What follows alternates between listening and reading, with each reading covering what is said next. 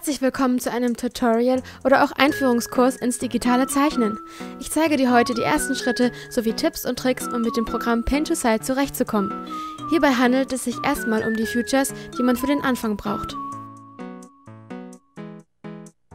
Um ein neues Bild zu öffnen, gehst du links oben auf File, dann auf New. Jetzt kannst du den Namen und die gewünschte Größe deines Bildes einstellen. Es gibt unter Preset viele vorgefertigte Abmessungen. Die Auflösung empfehle ich dir auf 300 dpi zu stellen. Als erstes gibt es hier links an der Seite eine Leiste mit deinen Layern. Einen neuen Layer erstellst du mit diesem Button. Layer sind sowas wie unsichtbare Blätter, die übereinander liegen. Opacity ist die Deckkraft des Layers. Jeder Layer kann allein bemalt und durch diesen kleinen Haken festgemacht werden, so dass du nur den Bereich weiter bearbeiten kannst, den du bemalt hast. Es gibt auch Layergruppen, die du mit diesem Haken bestimmen kannst. Hiermit verschiebst du die Farbe von dem aktuell ausgewählten Layer auf den darunterliegenden. Mit dem Radiergummi kannst du alles auf dem aktuellen Layer löschen. Mit dem Mülleimer löschst du den kompletten Layer. Achte darauf, auf welchem Layer du gerade bist, bevor du zeichnest.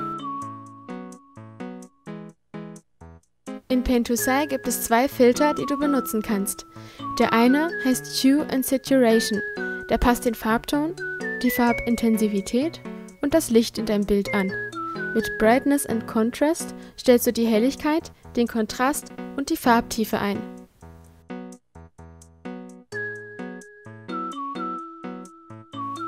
Diese beiden Button sind die Vor- und Zurücktasten, um einzelne Arbeitsschritte rückgängig zu machen oder zu wiederholen.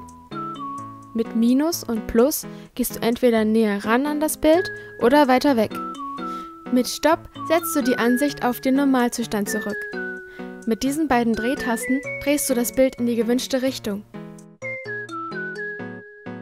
Rechts oben siehst du ein Farbfeld, wo du die gewünschte Farbe auswählen kannst. Darüber sind einige Button, womit du die Futures in diesem Menü aus- und einblenden kannst. Ich empfehle dir, den Farbkreis einzuschalten und das vierte und fünfte Kästchen. In dem vierten kannst du die Farbe zusammenmischen. Du kannst einfach eine Farbe nach links und eine nach rechts in die Rechtecke setzen und dazwischen entsteht dann ein Farbverlauf.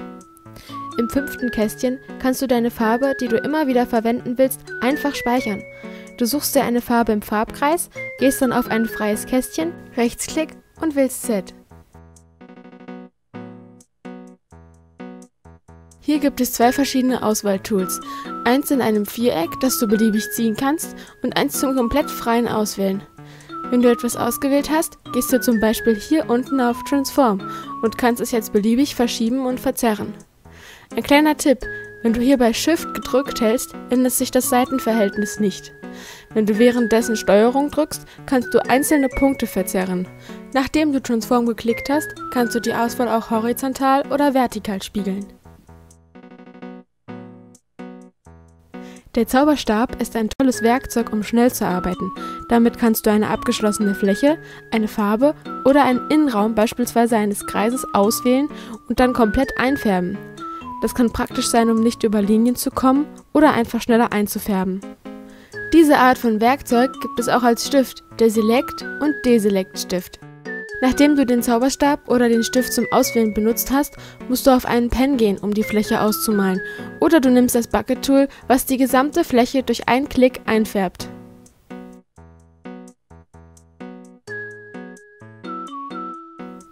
Mit der Pipette kannst du dir eine Farbe aus deinem Bild herausholen.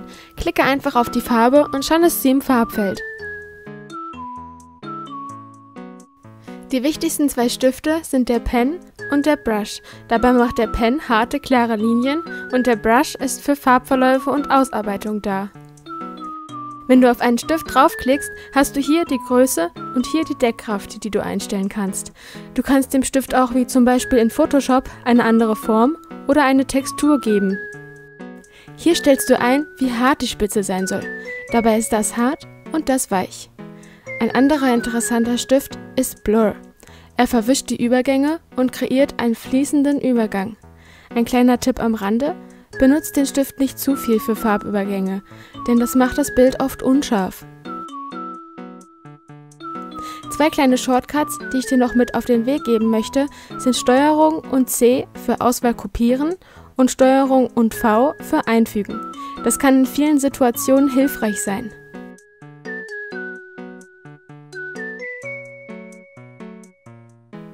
Zu guter Letzt gehst du wieder auf File und speicherst dein Projekt.